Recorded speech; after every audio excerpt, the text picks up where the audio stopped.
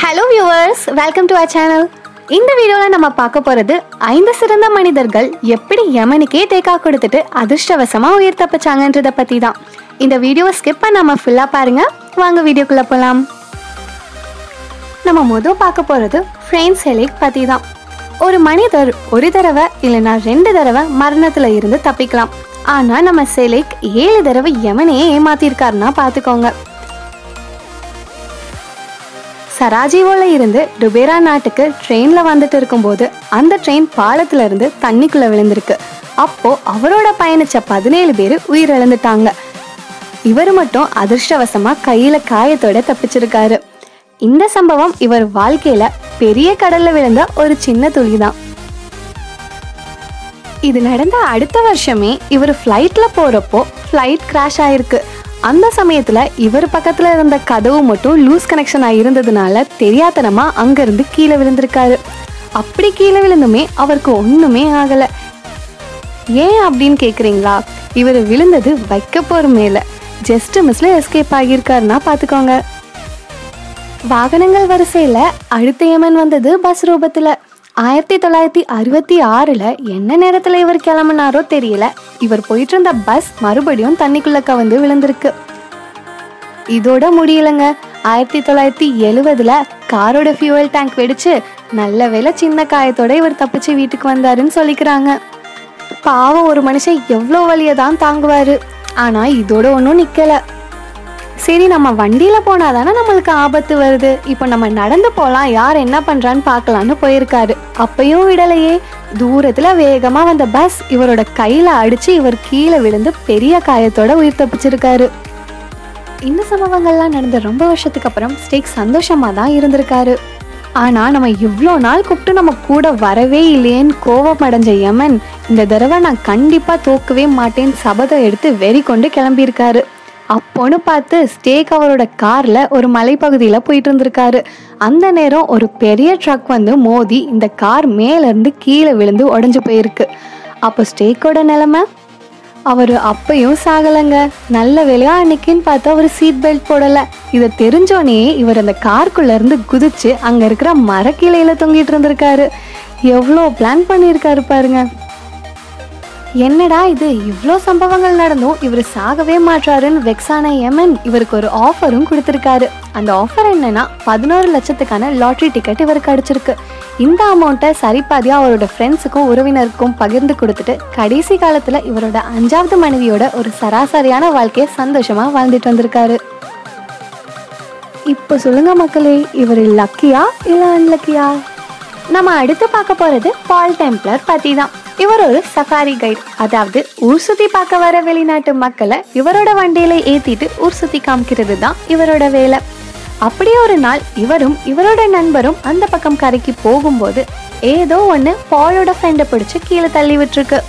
இவரும் அலறி அடிச்சுட்டு என்னன்னு பார்க்க போற அந்த கண்ணிமிக்கிற நேரத்துல இவர் இருந்த மொத்த இடமும் இருட்டா பிசு பிசுன்னு ரொம்பவும் கெட்ட வாடையா தோன்றியிருக்கு.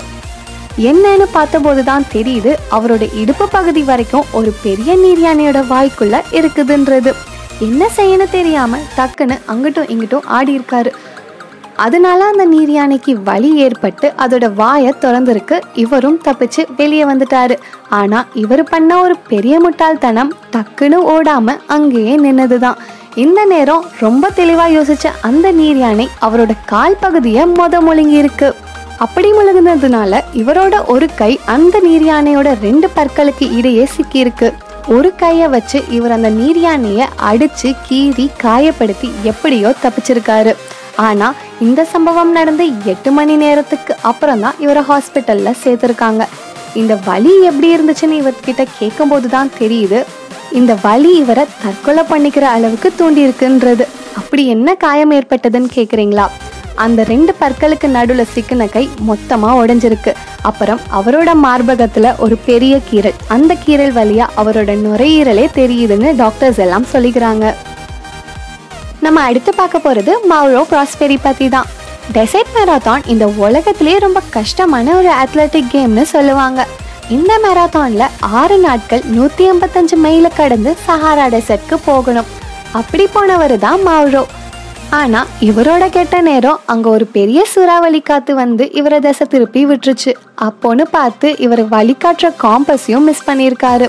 உயிர் மேல இருக்கிற ஆசையில பல கிலோமீட்டர்கள் வேகமா ஓடி இருக்காரு ஆனாலும் இவரால அந்த பகுதியை விட்டு கொஞ்சம் கூட வெளியே வர முடியல.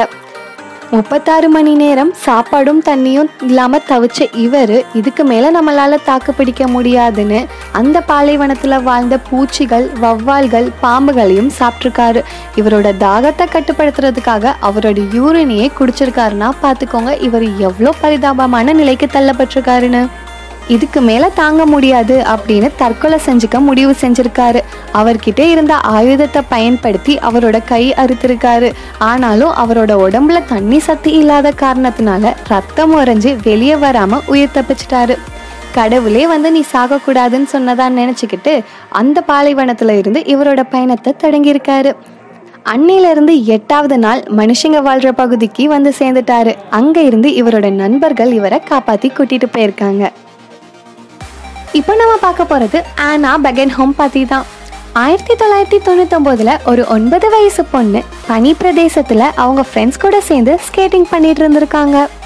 அப்போ ஒரு பக்கத்துல இருந்து இன்னொரு பக்கத்துக்கு வேகமா தாவும் போது நடுவுல இருந்த ஒரஞ்ச தண்ணிக்குள்ள தலைகீழா விழுந்திருக்காங்க.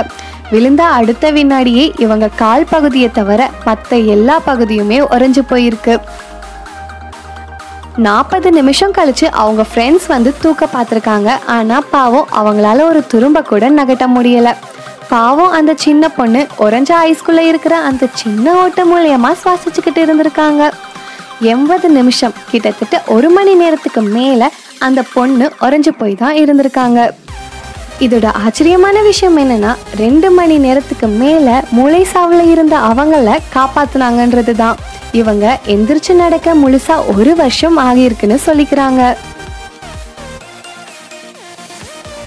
நம்ம கடைசியா பார்க்க போறது ரான்ஹன் பத்தி தான் இவரு கலிஃபோர்னியால கன்ஸ்ட்ரக்ஷன் வேலை பார்த்துட்டு இருந்திருக்காரு. அப்போ ஒரு கனமான பகுதியை ஏணி மேல ஏறி ட்ரில் மிஷின் வச்சு ட்ரில் பண்ணிட்டு இருந்திருக்காரு. ரொம்ப வேகமா செயல்பட்டதுனால அந்த ஏணியில பேலன்ஸ் மிஸ் ஆகி அவர் கையில வச்சிருந்த ட்ரில் மிஷின் கீழே விழுந்திருக்கு. கீழே விழுந்த அந்த ட்ரில் மிஷினோட கூர்மையான பகுதி மேல் நோக்கி இருந்திருக்கு. இதை பிடிக்க போய் இவரும் கால் தடுமாறி கீழே விழுந்திருக்காரு. விழுந்தவர் கரெக்டா அந்த மெஷின் மேலேயே போய் விழுந்திருக்காரு. பதினஞ்சு இன்ச் இருக்கிற அந்த ட்ரில் மிஷின் இவரோட வலது கண்ணை தொலைச்சிட்டு மண்டவோடு வழியா ஆறு இன்ச் வெளியே வந்திருக்கு. நல்ல வேளை மூளை பகுதியை பாதிக்காததுனால இவர் சீக்கிரம் குணமடைஞ்சிட்டாரு. இவரோட வலது கண்ணை மட்டும் இழந்திருக்காரு. இந்த சம்பவம் நடந்து கொஞ்ச நாள்லயே இவர் மறுபடியும் வேலைக்கு கிளம்பிட்டாரு. தலைக்கு எவ்வளோ தில்லுன்னு பாருங்க. ஓகே வியூவர்ஸ் இந்த ஐந்து நபர்கள்ல யாரு ரொம்ப லக்கின்னு நீங்க நினைக்கிறீங்களோ மறக்காம கமெண்ட் பாக்ஸ்ல மென்ஷன் பண்ணுங்க. அதுவரை அடுத்த இன்ட்ரெஸ்டிங்கான டாபிக்ல உங்களை சந்திக்கும் வரை tata bye bye from Canadian girl